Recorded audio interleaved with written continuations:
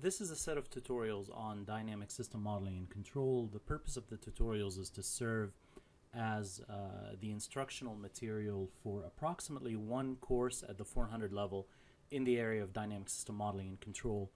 Uh, this particular tutorial, the first one, uh, focuses on introducing you to the system dynamics discipline, uh, specifically to help you see the breadth of the discipline and also to help you understand which uh, prerequisite material you might need to brush up on as you dive into the later tutorials. Uh, my name is Hosam Fathy and uh, I'm happy to be going through this tutorial with you. Um, so going on to the tutorial goals, the tutorial has four goals. First of all, to motivate the need for studying the dynamic systems discipline. Secondly, to introduce some of the key concepts and goals of this discipline, of the system dynamics discipline. Thirdly, uh, to highlight the breadth of the discipline and particularly just how many applications of system dynamics exist in various domains. And finally, to emphasize the mathematical foundations of system dynamics so that if you do need to go back and brush up on some necessary background material, uh, you can do that with ease. So, in order to understand what the system dynamics discipline is, I've borrowed an image here uh, from Wikimedia Commons of uh, a bunch of people ice skating. Okay, and uh, this figure helps us understand what the dynamic system dynamics discipline is, because we can think about these ice skaters and we can ask ourselves the question: What are the dynamics governing their motion as they ice skate? can we build simulation models of these dynamics? Can we take these mathematical models and simulate them on a computer so that we understand and see how these um, ice skaters move with time? If we build simulation models of these ice skaters, what parameters do we put in these models? Um, for example, what are the masses of the ice skaters? What are the inertial properties of the ice skaters? can we figure out these parameters a priori, either from knowledge of the ice skater's anthropometry or from direct measurements of, say, their mass? If we can't determine these parameters a priori, can we perhaps estimate and identify these parameters from experimental observations of the ice skating process? If we build an ice skater's model and we simulate this model and we analyze this model, can we use this model to judge the stability of the ice skater specifically while they're skating? Are they gonna are they gonna be able to maintain a desired skating trajectory or are they gonna fall? How is the motion of the ice skaters affected by the forces and loads acting on the ice skaters? How do these forces and loads result in acceleration, in velocity? How do they affect the motion of the ice skaters? What does the ice skater need to do to control his or her motion? Okay, what kind of actions do they need to take? What kind of forces do they need to exert through their muscles? If they control their motion, are they controlling their motion through a feedback process where they use the sensors in their bodies, say their visual sensors and their vestibular sensors, to stabilize themselves? Or are they using feed forward control where they essentially memorize a trajectory of motion and they follow it uh, without using their sensors? how much feedback do they need to use how much feed forward control do they do they need to use and how robust is their motion to uncertainties in the surrounding environment so for example if an ice skater is used to skating with a particular pair of skates and then they switch skates and they get an older pair or a rustier pair or if the properties of the ice itself change if it gets a little wetter how does this affect their ability to continue to ice skate proficiently what sensors do the ice skaters need to use in order to control their motion? What if uh, they ice skate blindfolded so that they don't have the visual sensors anymore? Are they still going to be able to skate effectively? What are they benefiting? What gain? What are they gaining by having visual sensors, vestibular sensors, pressure sensors in their bodies, etc.? Okay. What kind of actuators do they need for ice skating? What if we um, deny them the use of some of these actuators. So, for example, what if we uh, put a cast around the ice skater's leg, left leg or right leg? How much does this affect the ice skater's ability um, to, to skate proficiently? These are the kind of questions that we ask in the system dynamics discipline. We focus on modeling dynamic systems, analyzing dynamic systems, specifically from the perspective of stability, robustness, performance, um, ability to achieve certain goals, like ability to skate a certain velocity or in a certain direction, and the degree to which all of this is influenced by control, both feed forward and feedback. This is a nice analogy for the controls discipline and the dynamics discipline, the system dynamics discipline. But of course, the system dynamics discipline has applications far beyond ice skating. As a matter of fact, we can think of the system dynamics discipline as a knowledge tree. Uh, it's a very traditional analogy in a lot of disciplines.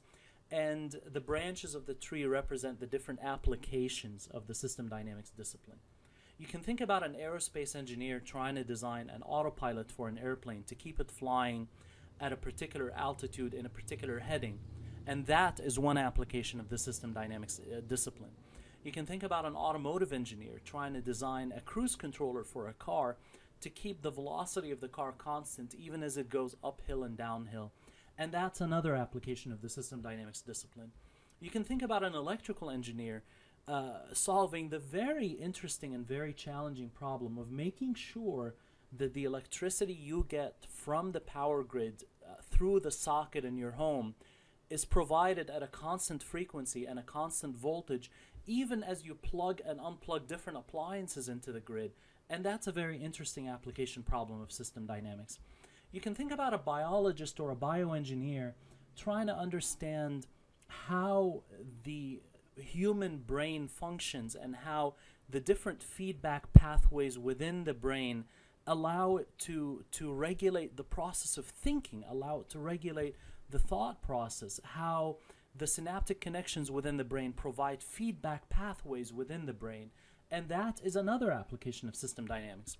You can be a population scientist interested in questions such as um, how much does hunting affect the population of deer in a forest, and that's an application of system dynamics.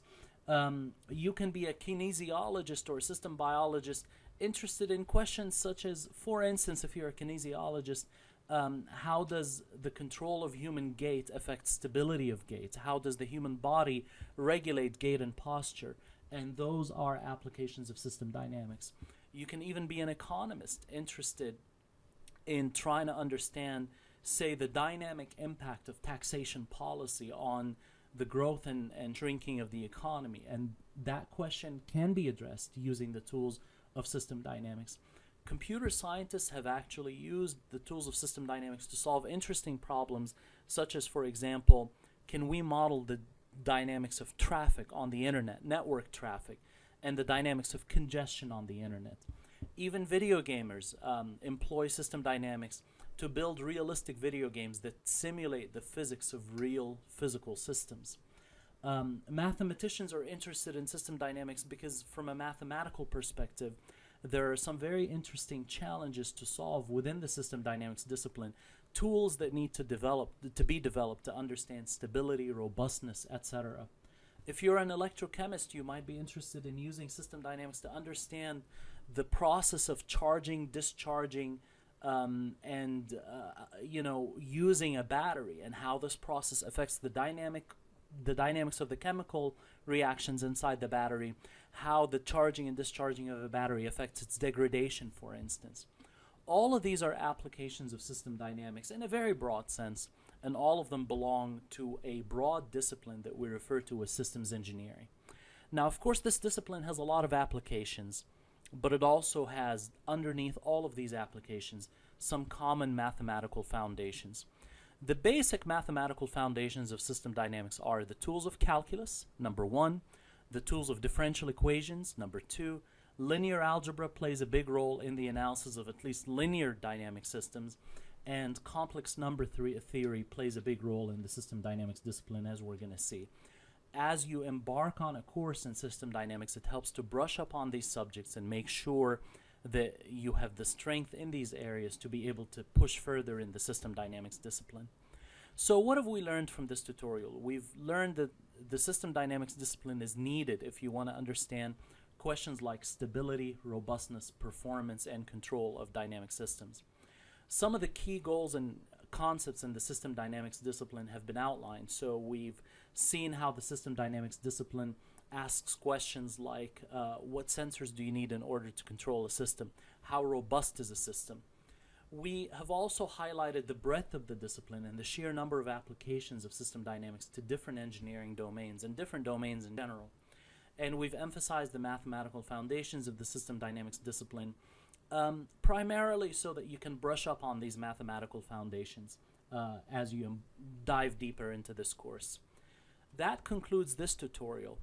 The next tutorial asks the question, what is a system? And what makes a system dynamic? We're throwing around these words, system and dynamic, all the time, but what do they really mean? Thank you very much, and I look forward to the coming tutorial.